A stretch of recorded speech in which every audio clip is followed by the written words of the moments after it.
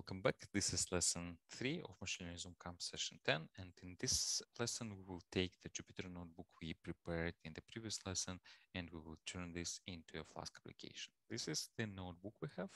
We use this notebook to communicate to our model deployed with TensorFlow Serving. We use this notebook to get an image of pants, pre-process it, turn it into protobuf, and then send it to TensorFlow Serving, get responses, post-process them, and turn this into something human readable. So now what we want to do is we want to turn this into a Flask application. Before actually doing that, let me stop Jupyter. I don't need it anymore. And before turning this into a Flask application, I want to turn it into just a Python script. I'll use Jupyter NV convert for converting this to a Python script. Then I think two will be script, TensorFlow serving connect. This should be nbconvert. Now we should have it. Let me open it. This is the code. Let me rename it. I'll call it gateway because this is how we will call our service. Let me do a bit of cleaning here. So I don't need all that. So we will start with output. The import here. So this is another function that we need. So what I'll do here is this bunch of code. So what I'll do is I'll call it prepare request, and then this request will get the X, and it will turn this X into this PB request. We have a function like that. And then let's have another function called make predictions, which takes a URL takes this one. Let me comment this URL. Ah, maybe just predict. So it takes the URL, turns the URL into X, then then we'll call this prepare request. It's pb request X. Then we do the prediction here. And then let me have another function that we will call prepare response maybe. And then it will get this pb response and it will do this thing so it will extract the float values from there and it will do this thing. It will combine it with the classes. And as for the classes, let them put in front of this function, just here, and clean this thing. Yeah, so we have this predict method, and yeah, let's just write the main statement. I think it's name equals main, then URL will be this one. I'll comment it. Then we invoke, I forgot to do this prepare response. Response, PB response, and then we return response. Predict URL, here response, and we'll just print it. Print response.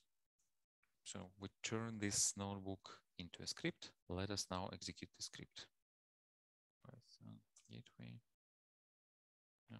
So we executed the script and we get the response with pens and the rest of things. So it works. Now what we want to do is we want to turn this script into a Flask application. That let me go to our fifth session and open the code for the fifth session. And there we have this predict.py. And I'll just copy these things here this is our things we need for Flask. Here. Okay, and we need this route here, oh, this thing as well, the app. I'll call this app, let me call it gateway. And then we already have predict function, so I'll call it predict endpoint. But here we expect that the predictions will be sent in JSON. So data will be request get JSON.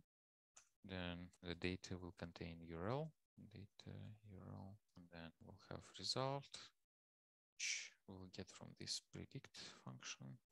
And we just want to return result, but we will also JSONify it. Now let me comment this one. And actually what we need to do is this thing. So we want to run this up now. Okay, so I hope I didn't make any mistakes here. Let's run it. Python gateway, because I don't have Flask. Yeah, let me just install it. Uh, actually, I should have created a pipenv file, but yeah, anyways, let me just install Flask this way. Right. Okay, and like before, I want to create a test file, test.py. For this test.py, I'll copy it from the previous session. So we have code here, and we have test.py. So what I actually want to do is just copy the entire thing and replace the URL with http localhost 9696 slash predict. Let me run it. That was fast. It didn't complain about anything. Ah, yeah. So the first time it ran, it complained about CUDA stuff, but only for the first time. Uh, the subsequent runs, they're much faster. So now we have a Flask obligation that we can use. And if you remember, so we actually have two things. So here we have our Docker container with TensorFlow serving. And then we have our Flask application with the gateway service. We send a request to the gateway, gateway prepares the request and sends it to TensorFlow serving, and TensorFlow serving applies the model, sends back the predictions to the gateway, and gateway post-processes the predictions and sends them to us. So this is what we want to actually cover here. We wanted to convert the notebook into a Python script. We wanted to wrap it into Flask app Actually, I wanted to add one more thing. I want to put it into pipenv now, because this is something that we will need next when we are preparing the images. Putting everything into pipenv. So let's do that quickly. I'll stop it here. For pipenv, we will need to install a bunch of things. pipenv install grpc io 142.0.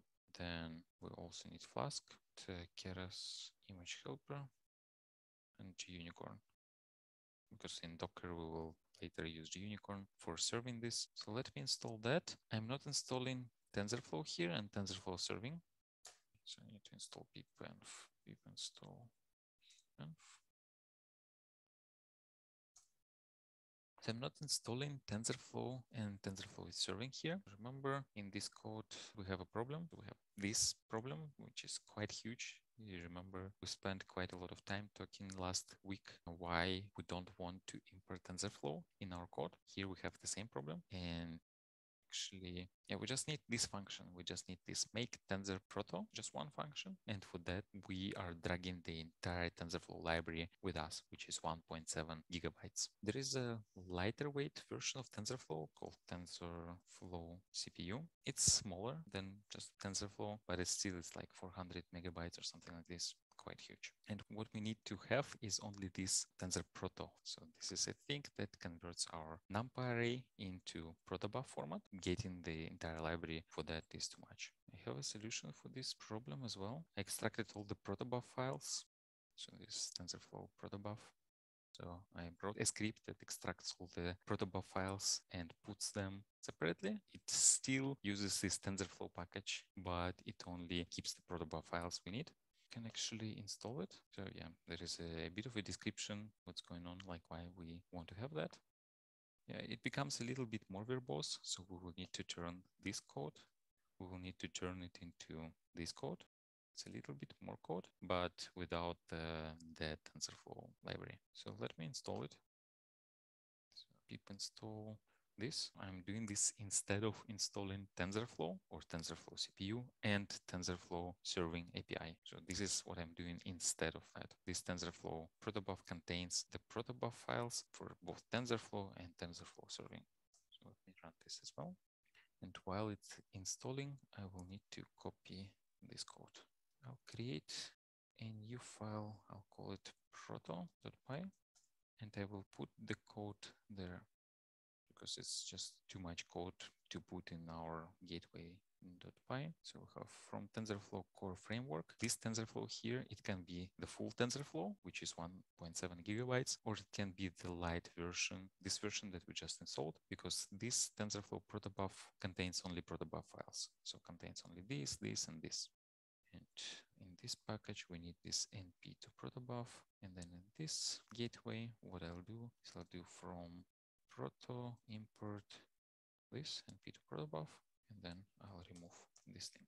So now I'll just simply import this from the script and it's doing exactly the same thing as before. And for the rest, I don't think we need to change anything to check that everything works, I'll, I will not run it as a Flask application to just make it simpler and faster. I will only send a request to our TensorFlow serving to check that everything works. So let me do pip and shell. So now if I check which Python, yeah, I have this virtual environment.